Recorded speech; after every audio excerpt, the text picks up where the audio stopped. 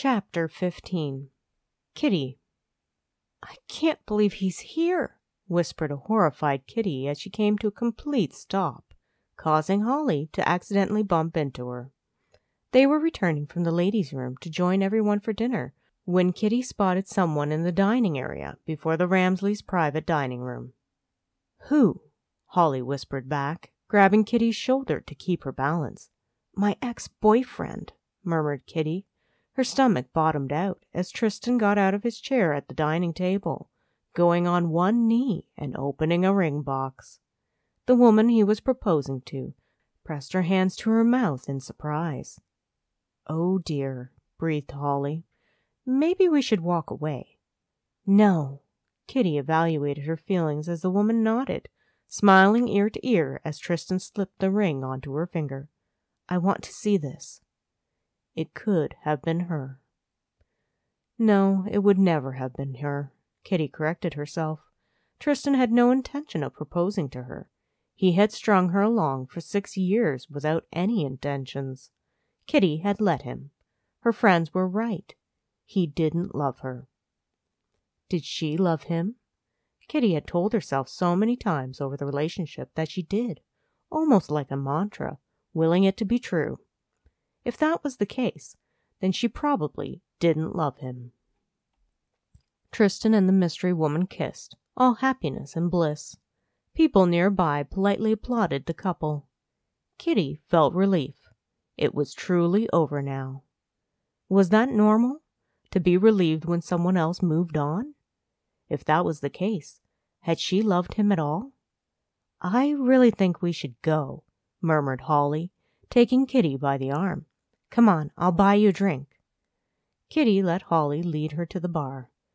You're a psychiatrist, right? Yes, concurred Holly as she carefully sat on a bar stool, careful of her dress. Kitty perched on the stool beside her. Why am I so dumb? I wasted six years on him. I gave him every opportunity to pick me. I ignored the signs he was cheating on me. I made up every excuse to my friends to allow for his behavior. What is wrong with me? How long ago did you break up with him? questioned Holly. She smiled at the bartender. Something fruity. Surprised me. He broke up with me a little over three weeks ago, admitted Kitty. He even asked me if I thought she would like the ring. Oh dear, grimaced Holly. Get my friend here something too. My girlfriends kept telling me he wasn't right for me moaned Kitty. I just don't know why I didn't see it before. Holly cocked her head to the side as she looked at Kitty. What is an irritating habit that he has, besides the cheating? He picks his teeth after every meal with a toothpick, shuddered Kitty. Even snacks. Who does that? One year I got him toothpicks for Christmas as a joke. He sincerely appreciated it. Good. Now, every time you see him, I want you to think toothpicks, advised Holly. Just toothpicks. You will never go back to him. It's that easy? A doubtful Kitty said. Not really. It's a mind trick, clarified Holly. The idea is to give your rational mind a moment to think of all the other reasons you should not be with this person should they ever ask you again, and associate those reasons with the toothpick habit. You will learn to loathe toothpicks altogether. It usually works. He's getting married. I don't think he's going to ask me to be his girlfriend again, remarked Kitty. Holly had a laugh. That spoiled man boy over there is going to find out marriage isn't as easy as he's been led to believe. When he starts hitting those first bumps in the matrimonial road, he's going to look for someone familiar who soothes his ego. He will come running back to you, asking you to be his girl, promising he will leave his wife for you and find every excuse in the book not to. He will groom you to be the other woman. He's been doing that all along, from the sounds of it. I've seen his kind many times. That was blunt, blinked Kitty. She took a delicate cocktail straw and sipped the drink the bartender put down in front of her. I'm being your friend, not your psychiatrist, dryly spoke Holly. If I were your doctor, I would have to lead you gently and politely through the whole process while charging you hundreds of dollars an hour. I'll take the friendship over the bill. Thank you, noted Kitty. I thought you would, smiled Holly. Now, your mother and father, what's up with them? They divorced when I was around eight, shrugged Kitty. He had some other girl knocked up who was half his age. There it is, declared Holly. Subconsciously, you blame your mom for not keeping your dad happy so he would stay in your family unit. I don't even like my dad, frowned Kitty. I mean, maybe he would have stayed and been a better person if she had not. Oh my word, you're totally right. I have been blaming mom. Which is why you're willing to do anything to keep a relationship going, even if it means you are the proverbial doormat, concluded Holly. She flagged down the bartender. Another round, please. Kitty realized her drink was empty. How do I fix it? You realize you are just as important as the other person in the relationship, and your needs should be met as well, commented Holly. Something which is super easy to say, but hard to do, especially after you've already gotten yourself into the habit of giving and not receiving. Kitty sighed dejectedly. Am I doomed to repeat the mistake?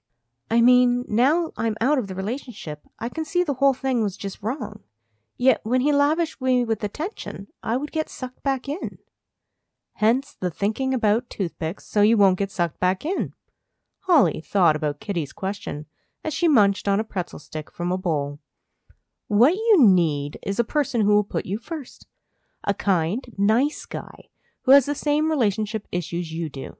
Then both of you can spend your lives trying to make each other happy. My friend Maya thinks I should date Ben, laughed Kitty. Why not? questioned a curious Holly. Ben is a classic case of a man who would literally do anything for the woman in his life. He is solid relationship material.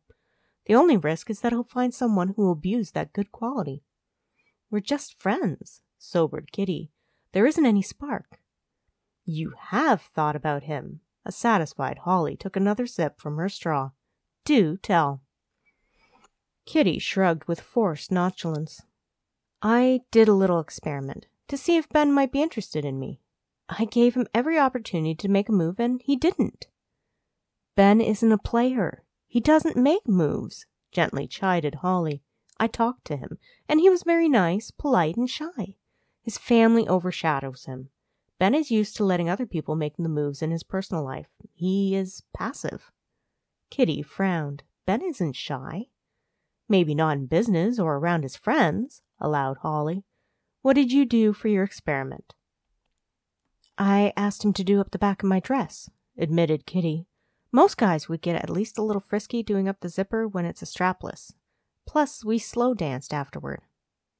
How did he make you feel? pressed Holly. Safe, comfortable, sighed Kitty. Like he always does. Hmm. Holly munched on another pretzel. How did you want him to make you feel? I don't know, muttered Kitty as she stirred her drink. Excited, nervous, the whole butterflies in the abdomen thing? The way Tristan makes you feel, said a knowing Holly. Well, yeah, shrugged Kitty. Ben isn't Tristan, Holly pointed out. He won't make you feel the same way, which is probably a good thing. Kitty had a sigh, thinking over the many differences between the two men. Have the two of you ever kissed? wondered Holly. No. If we did, it could ruin the whole relationship, explained Kitty. I value Ben as my friend. The last thing I want is to hurt him. A kiss is a surefire indicator of if there'll be any spark or not, murmured Holly. Have you thought of him and you in bed together? What, like sex? Kitty blushed red. No. Why not? asked Holly with a grin. Believe me, I've often thought about my boyfriend and I in that situation, almost to the point where I'm ready to tell him to forget my five year plan and get married early. You and your boyfriend aren't. Kitty trailed off. Nope. Holly released a pent up breath. Molson and I have enjoyed a lot together, but we haven't yet had sex. He has this idea we should be at least engaged first. It's funny because I think everyone would never guess how old fashioned he really is. I adored it at the beginning of the relationship. Now I'm frustrated to the point of being ready to seduce him. Your boyfriend is the doctor with the tattoos, clarified Kitty. Holly nodded. Yet we're not talking about me. We are supposed to be talking about you. You need to kiss Ben and do a little imagining before you decide to set him aside as no spark. Even without spark, people can have great relationships if they both have the same goals. Why would anyone want to be married without any chemistry? Frowned Kitty. How old are you, if you don't mind me asking? Holly finished her drink. Twenty-four? Kitty gave Holly a suspicious look. Don't tell me I'm too young to understand. Just kiss the guy, advised Holly. You'll probably knock his socks off. Hopefully, he'll knock your socks off too. If not, then just blame it on the booze. Are you used to drinking this much? Kitty eyed Holly. No, I was kind of keeping pace with you. Holly frowned. I'm probably going to regret it. Kitty laughed. Maybe we should find your boyfriend, or at least other women in the Ramsley group. Holly turned to view the crowd. She was surprised as she watched Molson come towards them. Speaking of him, he's right here. You say you're looking for me? drawled the tattooed doctor as he leaned on the bar beside Holly. Molson, meet Kitty. Holly introduced them. Kitty came with Ben. Nice to meet you, nodded Molson before he looked at the three empty glasses in front of Holly. You drink all those? I must have. Holly looked at the empty glasses in slight awe. I may have been a bad influence, noted Kitty. We were talking about relationships. Heavy stuff, agreed Molson with a nod. I think we should revisit the five year plan and move up the timeline, Holly told him, putting a hand on his arm. If sober you agrees, then we can discuss it, grinned Molson. I'm not drunk, an indignant Holly said. Three beverages. Molson pointed at the empties. We drank through straws, warned Kitty. I'm pretty sure it's kicking in for her. She isn't a drinker, is she? Nope, confirmed Molson as he grabbed a pretzel from the bowl, munching on it. She is usually full on sober. Holly leaned forward, whispering something in his ear which caused Molson to choke on the dry pretzel. He coughed badly, and Kitty offered him her drink. He swallowed with a grimace, asking hoarsely, What is this? Kitty shrugged. Something the bartender gave us? How about it? sweetly asked Holly. I think your dad would skin me alive, wheezed Molson. He handed Kitty back her drink. Drew is going to be one unhappy man tonight. Why? frowned Holly. Why would your brother be unhappy? I'm giving you to Bethany until the buzz wears off, Molson decided. A man has only so much willpower. You're being a spoil sport, judged Holly. She ran a hand down his arm. Okay, nice to meet you, Kitty, said Molson as he helped Holly stand. It's time to find my soon to be sister in law to take care of my girlfriend. Kitty ordered one last drink, watching the crowd. She thought of Molson and Holly, who obviously had chemistry. Molson also respected his girlfriend. Any other guy would probably just have taken Holly up to the hotel room. Kitty frowned. Molson was a gentleman. So was Ben. Maybe that was why she had not gotten a reaction not because Ben wasn't interested, but because he had been raised to be respectful and not go over certain boundaries. Maybe all the Ramsleys were gentlemen. Sipping her drink, Kitty thought over what Holly had said. Ben was a husky guy. He made Kitty feel tiny in comparison. Yet he wasn't exactly fat. He had lost weight. Kitty had meant what she said about him looking sharp in his suit. Ben was a handsome man. She closed her eyes and let her imagination run for a moment. Her breath caught in her throat as she thought about.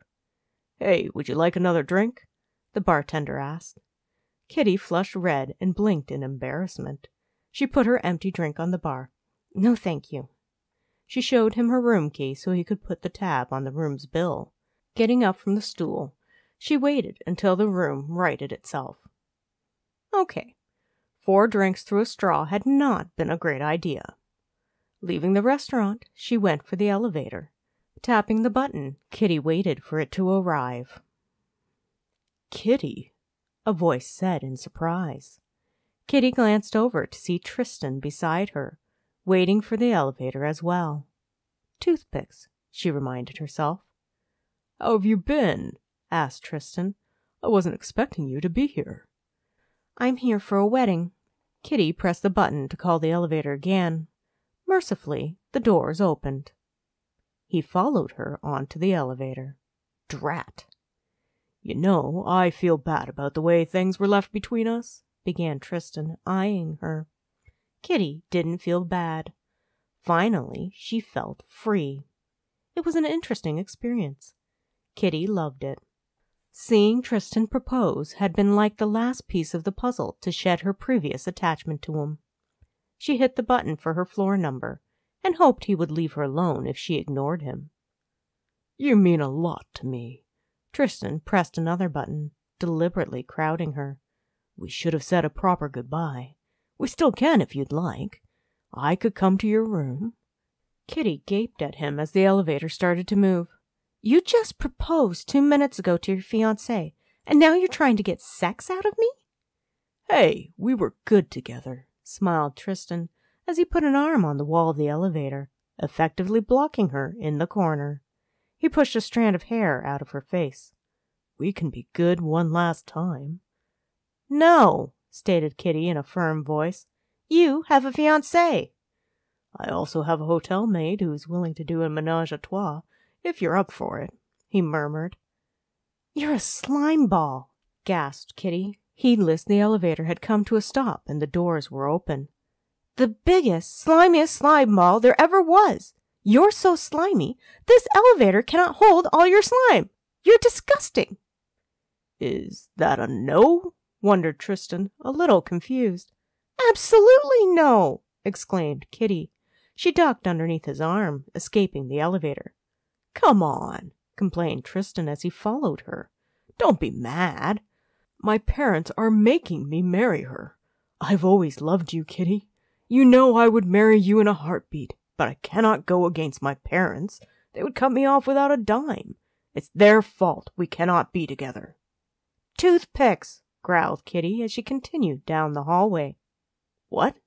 A confused Tristan asked. I don't understand. You don't need to understand, muttered Kitty. She came to Ben's room and knocked on the door. Kitty hoped he was there. If she went to her own room and Tristan followed her in, she couldn't be responsible for what she did to him. Go away. Hey, is that any way to talk to the love of your life? Surely you're not still mad, are you? Tristan questioned. Listen, I regret breaking up with you. I thought it would be the right thing to do with having to propose. Maybe we don't have to be apart. Are you asking me to be your mistress? Aghast, Kitty wondered. Three weeks ago, she might have thought about the offer. She might have fallen for the idea of keeping him, and hoping he would eventually choose her instead. Had she really been so dumb? Kitty could hear the door open behind her. Is it really so bad of an idea? responded Tristan. We could still be together, and my parents would still give me the money. All we have to do is wait for them to die so I can divorce my wife. Then you and I can get married. The stuff that comes out of your mouth, muttered Ben in the doorway of the hotel room. How had she been so desperate as to put up with this guy? Kitty looked at her former boyfriend in amazement. Think about it, Kitty, insisted Tristan. You know you want me. Okay, I'm interfering. Ben took Kitty by the arm, pulling her into the room. Goodbye, Tristan. He shut the door, locking it before looking at Kitty. Please tell me you're not tempted to go back to him. Kitty shuddered, remembering how blasé Tristan had been about having a threesome. No. You have to know he isn't any good for you, insisted Ben, you deserve better than him, Kit. Please don't go back to him. I'm not going back to him, responded Kitty. She wasn't. She finally had her eyes wide open in regards to Tristan for once. Too bad it hadn't happened years sooner. He's a piece of trash, continued Ben. What he just said about waiting for his parents to die? They're not that old. He doesn't really care about you. If he did, he wouldn't be offering to make you his mistress. I know. Kitty felt like Ben wasn't really listening to her. For some reason, you keep going back to him. It has to stop, said Ben. He really needed to stop talking about Tristan, decided Kitty. Maybe it was the drinks which gave her extra boost of courage. Maybe it was the pep talk Holly had given her. Either way, it was time to see once and for all if there was any spark. Kitty turned her back to Ben. Undo me, please. Are you avoiding talking about this? questioned Ben as he automatically unhooked, then unzipped the dress. I'm not avoiding anything. You talked, and I agreed with you. Kitty dropped the dress, heading to Ben's dresser to grab one of his t shirts. Taking off her heels, she put the tee on. It was so much more comfortable than the corseted dress she had been wearing. She turned back to Ben. He was red and staring at the ceiling. She had bikinis with the same amount of material as the bra and undies she was wearing. He had seen her in them when they had gone to the beach with their friends. It wasn't that shocking. Kitty eyed him. Sit on the bed. Excuse me? Ben let himself have a quick look at her, noting she was covered. You're too tall, complained Kitty. Sit. I'm not sure you agreed with me, mentioned Ben as he sat on the edge of the bed. What are you going to do tomorrow when you have had time to think about Tristan's offer? You have a bad habit of going back to him. I'm not going back to him, Kitty assured Ben. Tristan has toothpicks. Ben frowned. Have you been drinking? Only a little, confessed Kitty. Holly helped me. I see, said Ben, looking confused. She gave me some really great advice, mentioned Kitty, putting her hands on his shoulders. Holly is so smart. I think you've had more than just a little to drink, concluded Ben with a frown. Doesn't matter, a confident Kitty replied. I want to see if you have spark. Spark? echoed a puzzled Ben. All it takes is one spark to light a forest fire, murmured Kitty. She threaded her hands through his hair, leaning down and placing her lips on his. Ben didn't respond at first. For a moment, Kitty wondered if he was going to. Just as she was about to start feeling a little silly for kissing him, he kissed her back. It was enough to make her weak in the knees. This was more than a spark. She suspected if they continued long enough, there could be an inferno. That was about the moment rational thought left her fuzzy brain. She didn't know how long they kissed. Suddenly, Ben was standing up, pulling her hands away from him. You should, um. Ben cleared his throat. You should have some water and sleep off the alcohol. Confusion swamped Kitty. Didn't he feel the spark? Her entire body was on fire. Come on. Ben took her by the hand, leading her to the kitchenette. He filled up a glass of water, handing it to her. Drink up and then bed for you.